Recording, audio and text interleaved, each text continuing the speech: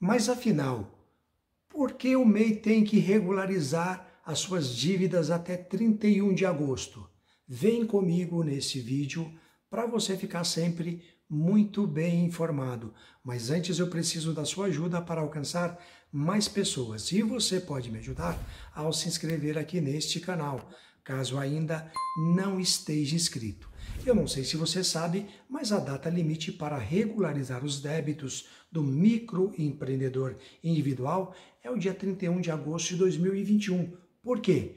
Porque a partir de setembro a Receita Federal vai encaminhar essas dívidas do microempreendedor individual lá para a dívida ativa. E este encaminhamento vai caracterizar um custo adicional para você se você não tomar uma atitude até 31 de agosto de 2021. Isto vai prejudicar você, pois você vai acabar pagando mais. Quando é enviado lá para a dívida ativa, você paga taxas a mais, você vai pagar inclusive honorários advocatícios. É exatamente isso. Então é importante que você busque ajuda, se você não souber, busque ajuda de alguém para regularizar essa sua dívida até 31 de agosto de 2021. Você pode pagar à vista ou até mesmo fazer um parcelamento para não perder a condição de MEI também. Pois um outro fato é assim, se você também não pagar esta dívida, você começa a ficar irregular com a Receita Federal,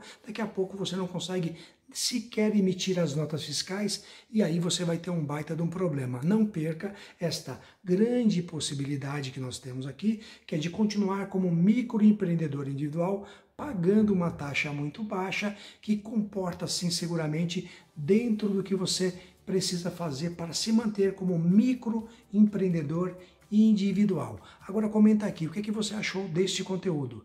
Ele foi útil para você? Se ele foi útil, deixe um comentário foi útil.